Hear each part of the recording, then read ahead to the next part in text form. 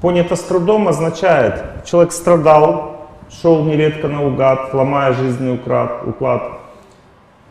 И только промахом был рад. Женщину любил не ту, видел жизни суету. И потом раз, и понял что-то с трудом. И жизнь его поменялась. Вот это и есть знание. Что человек начитался чего-то там, он не применяет это никогда в жизни, там всем рассказывает, как надо жить правильно, это не знание. Знание есть в уме, это просто начитанность. А есть знание в разуме, это когда человек меняет свой жизненный уклад. И такое знание всегда постигается с трудом, а то, что понято с трудом, то мне дороже. Это означает разумная платформа жизни. То, что понято с трудом.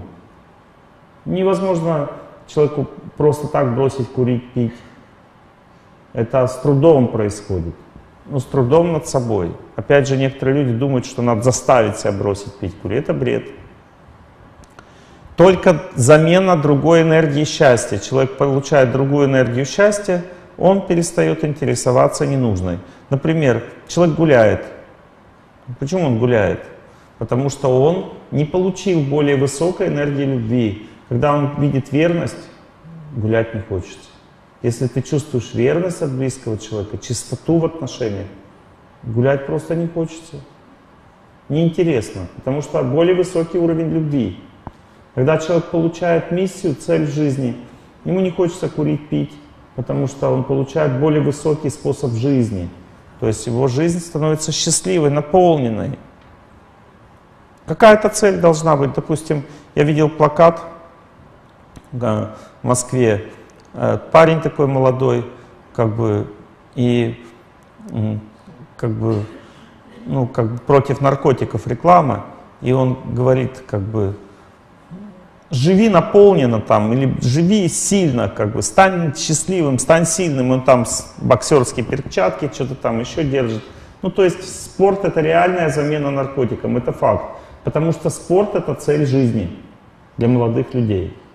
Что когда человек развивает свое тело даже, он развивает характер в это время, это цель жизни. Есть вообще разные уровни цели жизни, для каждого человека свой уровень. Первый уровень — это уровень отношений с своим телом. И человек просто начинает работать над собой всегда одним и тем же способом. Он начинает соблюдать режим дня и меняет питание свое пытается по-другому питаться. И он говорит, это цель жизни, все, вот это есть цель жизни, сыроедение — цель жизни. Ну, то есть это определенный уровень развития человека. Дальше он, когда более развитым становится человек, у него начинает переход из грубого тела в энергетическое тело идти, и он тогда целью жизни ставит уже не питание, а движение. То есть цель жизни это что такое? Это для него это горы ходить, бегать там, прыгать, закаляться. Ну, то есть он движение становится в этой цель жизни для него движение. Еще более развитый человек развивается еще сильнее. Он переходит на платформу уже не энергетическую, а умственную. И на умственной платформе он начинает видеть глубину этого мира, начинает интересоваться эзотерикой, пытается, пытается видеть тонкое пространство, что-то там ищет как бы в этих тонких вещах каких-то невидимых. Унылая пора, чей очарование, приятна мне твоя прощальная краса, люблю я пышные природоувидания, багрец из золота одетые леса, в их сенях ветра шум, свежее дыхание. Он начинает чувствовать душу во всем. Месяц свои блески по лугам рассыпал. То есть он живой стал месяц. Стройные березки, стройные березки шепчут что-то липам.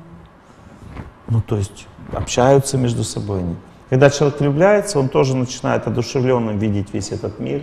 У него вот эта платформа умственная в результате влияния любви начинает видеть живым этот мир, то есть более глубокое восприятие мира становится. Это уже умственная платформа развития человека.